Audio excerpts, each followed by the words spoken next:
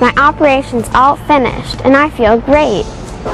I can't wait to tell my friends all about it. Chelsea is just one of over 1,500 children who come to Royal Victoria Hospital for surgery every year. This is a new, state-of-the-art facility, and because Barrie is such a growing community, RVH specializes in the healthcare needs of young families. Your mom and dad or guardian will bring you to the hospital a few hours before your operation. Most people arrive at RVH through the main doors, which is actually level 2. From there, it's a short walk to surgical services. Chelsea is going to have her tonsils out today. In order to register you, the clerk has to ask a lot of questions. When that's done, you'll wait in this room until someone calls your name. I got to keep my own teddy bear and wear my own socks, but I didn't get to wear my own pajamas. Hi, Chelsea. My name is Mary, and I'm the nurse who's going to get you ready for Dr. Heckenberg today. We'll just leave your clothes right here, and then after your surgery's all over, we'll bring them out to you. So, you have all your jewelry off? Yep. Okay, and is your bear coming with you? Yep. Great. And we'll just go on out here, and uh, we'll get you all ready. Why do patients have to wear hospital clothes? Everyone has to wear hospital clothes because there are little germs that are everywhere and you touch them, they're on your clothes. So everyone that goes into the operating room has to wear hospital clothes because the operating room is a sterile environment which means it's very clean and germ free. I you weight. Great. This is your hospital armband. It tells us how to spell your name, how old you are, and what day you were born. Chelsea, when was the last time you had anything to eat? Um, before I went to bed. Okay, Chelsea, this just takes your temperature. I'm just going to slip this right in your ear. Promise it doesn't hurt. This just slips onto your finger, and it tells me about your breathing. Okay, Chelsea, I'm just going to listen to your heart here for a minute. I'm going to fill it up with air, and it's just going to get a little bit tight on your arm. But it doesn't hurt, okay?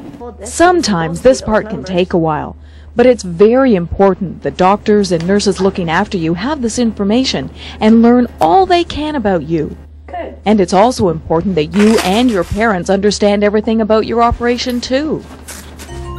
Why is a patient not to eat or drink before an operation? No one should have anything to eat or drink before an operation because the nurses and the doctors are going to give you medication to help you sleep and to help you not be sore. And sometimes these medications can make your stomach feel upset. So if you have an empty stomach, the chances are less that you're going to feel sick afterwards. They put some cream on my hand so my skin will go to sleep. This is a special bandage that just goes right over top. Okay? I know it looks kind of neat and it's pretty strong. Try not to play with it too much or else it'll break. There you go. Do you have any questions? Do you have any questions? No. Then it's off to another waiting room with all the other people who are going to have an operation today. Your parents or guardian will be there too, and while you wait, you can read a book, watch TV, or play with some of the toys. Chelsea, the doctor's ready to see you.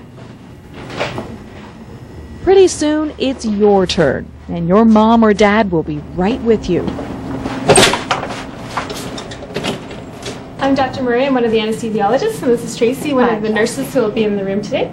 I just need to ask a couple of questions before. You know what you'll do a lot of when you come to the hospital ever for an been to the operation? hospital? You You'll sit operation in a before? lot of waiting rooms, and you'll answer a lot of questions. Do you have any loose teeth?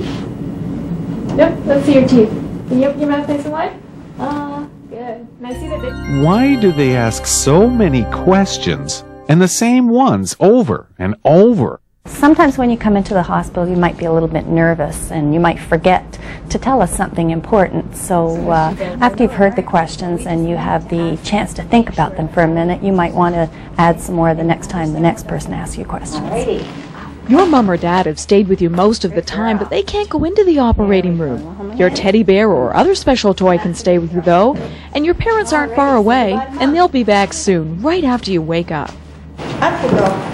Atta girl. Now, All I need right. to get you to lie down with your head on the pillow. Okay, just like that. We're your gonna bear. wrap you up in some blankets. I'm almost ready for my operation, and look, Teddy's still with me. Chelsea, I'm just going to put a seatbelt on here to keep you safe on this table, okay? Just to remind you not to wiggle around. You put that on your finger, just like that.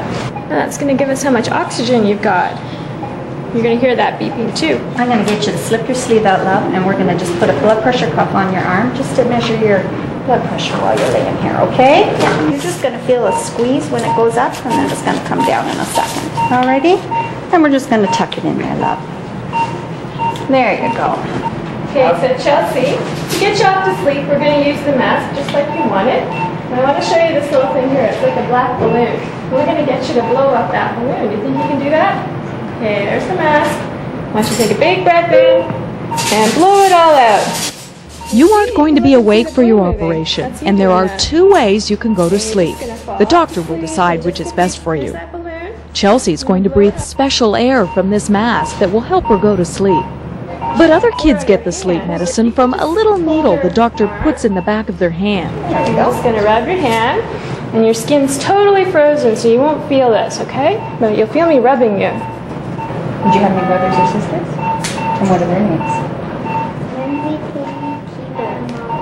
Guess what? It's all finished. Did you feel anything? Nope. Good stuff. And you're going to be asleep in no time.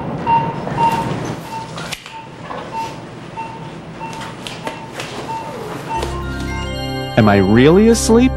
Do I feel anything? Are you really asleep? Yes, you are definitely asleep, 100%. I give you medications either through the mask that you breathe or through the intravenous in your arm that gets you off to sleep so that you are not aware at all of the surgery. So you won't feel anything, you won't remember anything, and you'll wake up without even knowing that you had an operation. I don't remember this part, but the doctors and nurses took really good care of me.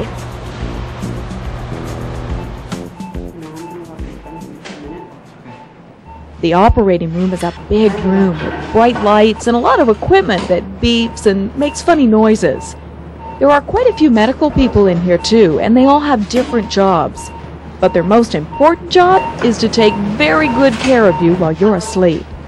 Okay? One, One, two, and on her side. On side, good. Okay. Your operation's over and you're just getting ready to wake up. When you wake up, you're going to be a little sore and we're going to give you medication to make that better. Then you get a nice week off school and we will see you back in the office in a few weeks. Right here. Most operations don't take very long, and before you know it, it's over, and you're waking up in another room. Hi, Chelsea. I'm just going to put a mask on your face. This is Chelsea. She's 11, and she just had her tonsils out. Why is it so hard to wake up after surgery? At the end of an operation, you are awake, but you're very sleepy. This is because the medications that we used haven't had a chance to wear off yet. They will wear off in a few hours, but in that time, you might as well get some rest and some sleep anyways. Hi, Chelsea. My name's Karen. You're back in surgical daycare. How are you feeling? Well, my throat's a little bit sore. This Okay, is the well, we'll get you recovery room, medicine, and and a let you know different nurse will look after you here. I'm just going to check you out, and then we'll let your mom come in to visit you, okay? And look who's back Chelsea's mom. Hi, Mrs. Marshall. Hi. Chelsea's doing great. Oh, that's let you have a visit. Thank you. Hi, Chelsea. How are you feeling? My throat's kind of sore. You're still pretty tired? Yeah. You look good. Everything's okay. Just open your mouth wide. Stick your tongue out for me, honey. And say ah. Now that your operation is over and you're awake, the nurse does some final checks to make sure you can sit up and go for a walk, and that you can have a drink and not feel sick. Most children go home soon after their operation, but sometimes they need to have a sleepover at the hospital so the doctors and nurses can look after them a little while longer. Don't worry, your mom or dad get to stay over too. And there's a fun playroom right down the hall. And when it is time to go home, the nurses will tell your parents everything they need to know about looking after you until you're all better. And you'll get to ride in a wheelchair out to the front doors. It's normal to feel a little nervous or even scared when you need an operation. Everybody does, even grown ups. But the people here at Royal Victoria Hospital are your friends, and they'll take very good care of you.